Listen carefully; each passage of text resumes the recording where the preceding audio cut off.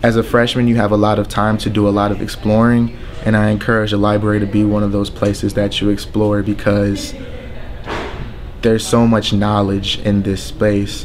People haven't been able to tap into it at the level that they could. So many Wooster students, they get really amazed how much how many resources we have. I would say that I relied pretty heavily on the resources of the library. The library has laptops that you can check out for in-library use for four hours at a time. In the dorms, you can easily get distracted, so the library is a place where you can actually sit down and finish your work. I spend a lot of my time down in the core if I want to work with my friends. But I'm actually pretty mobile around the library, so some days I'll work with Makira, a lot of times I'll work here in the core or with friends. I like the core a lot, um, especially the core rooms.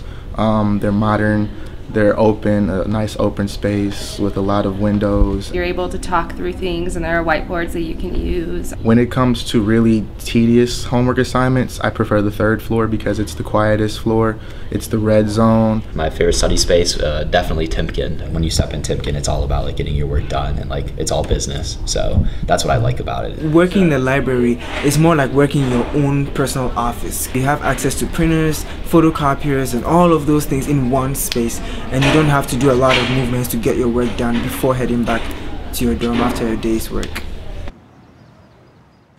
The research cons consultation, um, I've done it a couple of times. It just helped me kind of like broaden my search engine. I sit here and I schedule research appointments with our librarians. That's a great way to get started. Start at, at the research desk as the student aide. They will guide you in the right direction, and if not, they will find someone who will guide you in that right direction. So, actually, meeting with people and having them explain it to you sometimes makes uh, those resources just a lot more accessible. With the librarians, once you have your initial appointment, you can email them questions and they get back to you really quickly which really helped target my research and I could find sources that were really specific to what I'm interested in.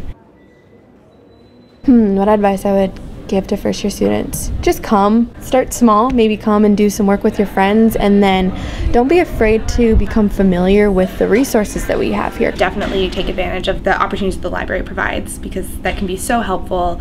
Um, they can come up with lots of sources and be really helpful with research in general. It's a great place, especially if you're in dorms that are very loud to come and find a good place to focus. Don't be afraid to ask for help. Wooster is a pretty academically challenging school, but uh, this place is amazing for just getting the work that you need to do done. Work really hard and don't be afraid to ask for help. Meet with librarians. I think that's probably the biggest thing. We have a lot of people here that can help you, a lot of librarians that are very resourceful. Come to the research help desk. If you come here once, you will know the basic way to navigate through the resources. And once you know how to do that, you're you're all set.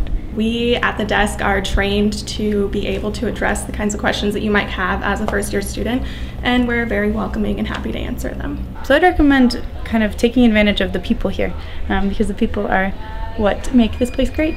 Even if you think that you're a, a strong researcher or anything, you'll still learn something. There's nothing too small that the library can't help out with. And um, it's a lot of fun. Check it out.